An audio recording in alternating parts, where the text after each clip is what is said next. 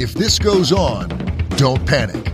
Bringing hope to the world through speculative fiction.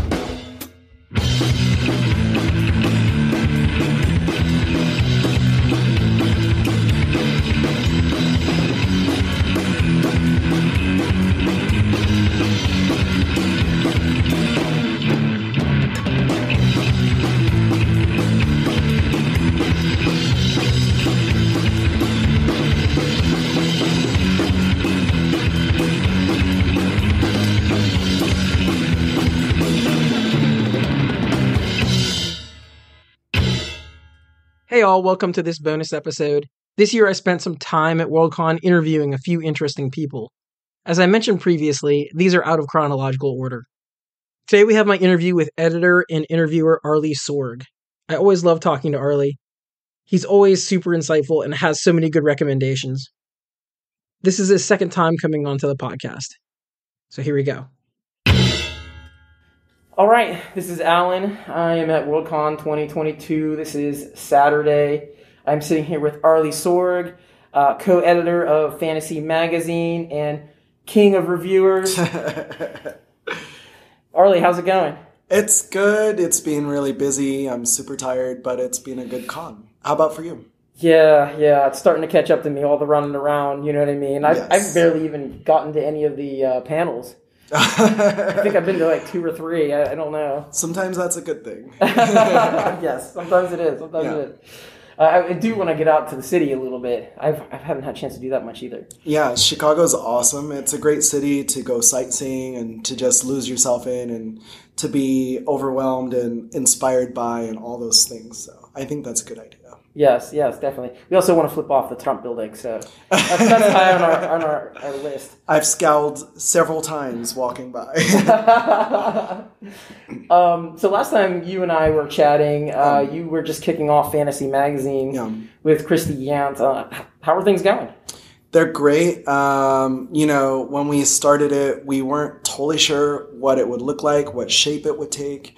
And uh, even now, if people ask us to describe the magazine, it's hard to describe in any specific way.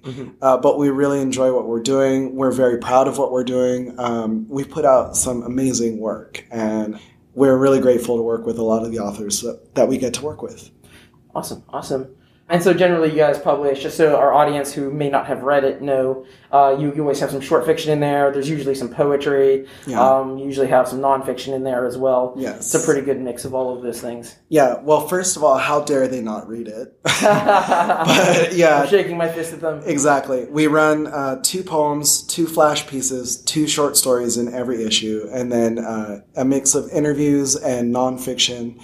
Uh, mostly the nonfiction is essays that I commission from people that I just think are interesting, or they might say something interesting, and I'm like, "Hey, do you want to expand on that? I will pay you money." Yeah, yeah. So yeah, and it's cool because we've run a couple things that I feel like you know we can provide a space where they might not be able to write the same kind of thing at other places. Um, Vida Cruz's essay comes to mind about non-traditional narratives, and we have a couple other things coming up. Meg Elison did some really cool um, essays about Stephen King, and and yeah, and it's great because she loves Stephen King and she knows a lot about it. So it's not just a bunch of random things. They're very, uh, very knowledgeable, very well structured, very well informed, critical essays. You know that are like, yeah, King's awesome, but check these things out. So yeah, and we sometimes do like genre pieces. Like Effie Seiberg had a piece about called "How to How to Steal a Million Dragons." and it was basically talking about heist fiction. Yeah. Yeah, so a great mix of stuff. Awesome, awesome. Yeah. Do you feel like you're where you want to be with the magazine right now? Well, that's an interesting question. Uh, in terms of what we're putting out, we're definitely where we want to be. There are some behind behind the scenes things that um, you know we don't respond to submissions as quickly as we would want to. And there are a lot of reasons for that. Some of it is our process. Some of it is that we both have full time jobs. Yeah. Um, and some of it is uh, just that life has thrown both of us a lot of challenges lately over the past couple years, really. It's been a really challenging couple years. Um, so, in terms of some of the nuts and bolts behind the scenes, there are things that are not ideal. Yeah. But in terms of what the magazine is, that is definitely where we want it to be. Excellent, excellent. I can completely relate to all of that stuff. I swear the last couple of years have been super challenging. I know I personally Yeah. have been having some health issues this whole summer. It's just been like oh yeah, ongoing, endless health issues. So I can completely relate to that kind of thing. yeah. I think challenges have been, you know, uh, liberally spread around. Yes. Basically. Yes, yes. Yeah. Um, in the perfect situation, you know, how would you see fantasy magazine expanding or, or moving forward? Maybe is a better way to put it. Right. Well, you know, a lot in terms of expanding, that's really about budget, which is about money, you know, nothing else. Um, the more subscribers we get, the more advertising we can get, the more advertising we can get, that becomes a possibility for buying more work or for, you know, running different kinds of things. Uh, right now, we are not in a position to think about it. If we had, if we had more money, we could buy more stories, we could buy more poetry or whatever, or we could um, add other components potentially. And it would be cool to expand. It would be cool to have more slots, basically. Um, but that comes down to money. In terms of direction, we're happy with the direction. Uh, so, you know, we just want to be able to continue doing what we're already doing. And, uh, you know, we got for the second year in a row, we're World Fantasy Award finalists for our work as editors. One of our pieces is on the ballot as well. We got a Locus, we were a Locus finalist. Um, I was given some other stuff. Uh, a lot of our work has been reprinted in years best or given great reviews. Um, an, a piece from our original issue was on the NAMO Awards list. So there's a lot of just different kinds of acknowledgment um, in different corners of genre and the genre community that we really appreciate. That kind of signals that we're doing something right. Yeah. You know, the readers are there, people are enjoying what we're doing.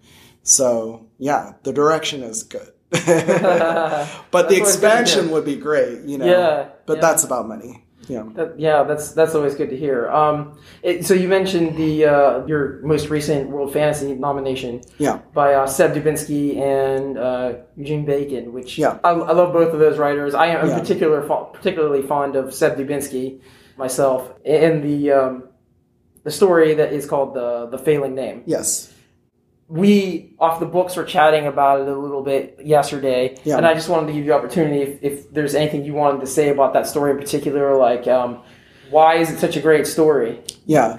Well, it's a challenging story. It's a daring story. Yes. Um, it's a hard to read story on an emotional level. yes But it's also a brilliant story. And it, it really, you know, even though there are difficult things to talk about, they, you know, that story is talking about things that are real. And it's talking about them in a very real, very uh, upfront um, way. But it's also applying a speculative element to it to sort of bring it to another level. And so I think, you know, I think more stories like this need to be written, more stories like this need to be acknowledged. Um, you know, it's not an easy story, but it's done right. And uh, yeah, I was surprised that it was on the ballot. yeah I, you know I, I read it and, and i can see exactly why you say that i mean it's well first of all the main theme i would say is loneliness you know it's all about loneliness and how lonely the main character is throughout um, their life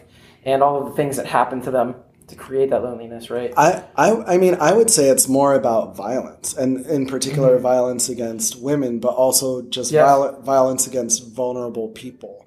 Like it opens with violence. yes You know, the main character witnesses violence, and the main character kind of doesn't know what to do, and that that points to the fact that a lot of times we are in these situations where we just don't know what to do yeah you know, in terrible situations when we should be able to do something, but we but we're stuck. We're scared ourselves. And the violence bleeds over into our lives. And then the main character is taken into these situations where ostensibly their life should be transformed in wonderful ways and it just gets worse and they become the victims of violence you know and abuse and you know they have to survive and uh, they survive through resilience and through imagination and you know this speaks to i mean it speaks to things that really happen and i haven't seen a lot of stories that talk about uh, the things that happen in this story and the way that they happen. It speaks to the immigrant immigrant experience for example Yes.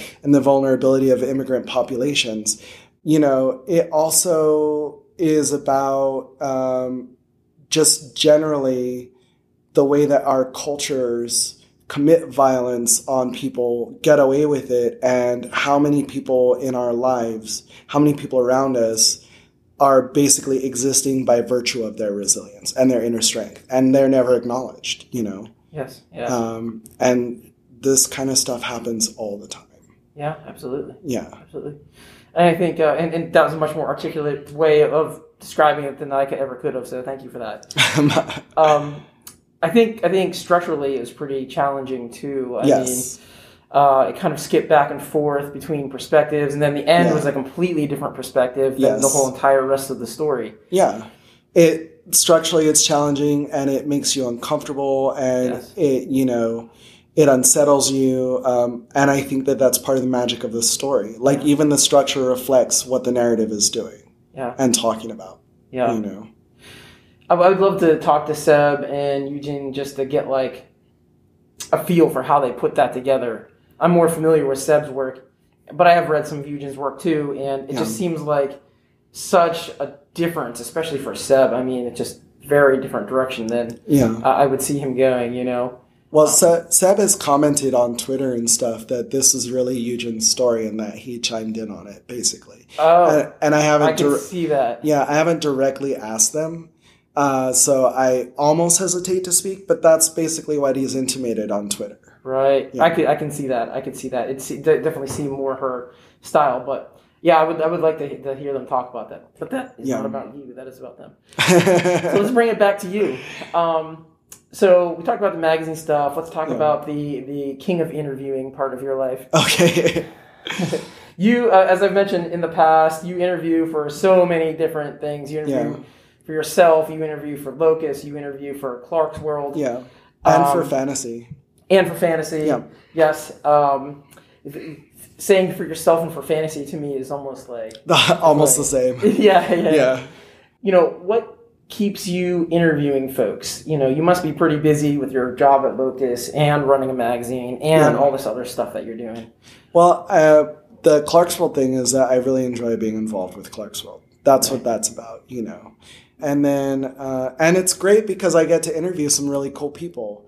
I won't say that I like everybody equally or that I'm interested in everybody equally. Sometimes it's like a job is a job kind of thing. Yeah. But sometimes I'm like, oh, this is great. I'm so glad I get to chat with this person. Yeah. Um, Locus is kind of similar, you know, like I don't, I get to suggest people or uh, dialogue with the editor in chief at Locus about who we're going to interview and who's doing what.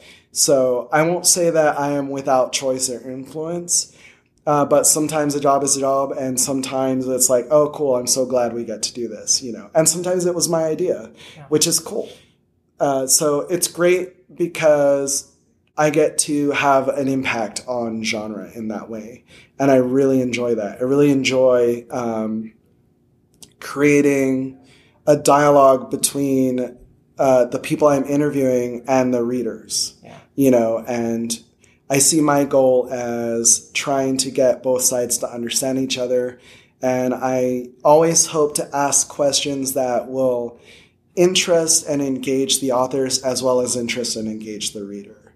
And for my own site, um, you know, and there's also a lot of uh, personal agenda involved. You know, there's always Mhm. choices about what I'm going to ask, how I'm going to ask it, and stuff.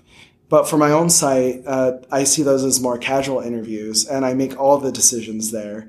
I can interview whoever I want. And um, that started as it's called At the Bar, and it's at arleysorg.com. And that started as, you know, during pandemic, I was missing uh, hanging out with people at the bar. Yeah. And so the idea was doing interviews with people that I kind of know already and want to hang out with. Maybe I had met them once and, you know, we had done that thing where we were like, oh, we should get a drink sometime. Or maybe, you know, we've hung out a few times or maybe we're friends, but that was the premise. So most of the people at for at the bar are people that I know. Yeah. There are a couple of exceptions because I was like, oh, it'd be really cool to interview this person. DaVaun Sanders is a great example. Like I had never met DaVaun, hadn't had a lot of interactions with him. He's the uh, editor at FIYAH Okay. magazine, uh, but I was like, you know, you know, and I make deliberate decisions about like my website isn't going to get huge traffic, but it is a platform and it creates a little bit more visibility for someone.